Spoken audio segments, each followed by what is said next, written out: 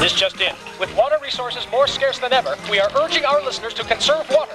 If you leave the water on while you brush your teeth, you can waste as much as five gallons of water. That's better. Oh, you left the cap off the toothpaste. Oh, Thanks. So turn the water off while you brush your teeth.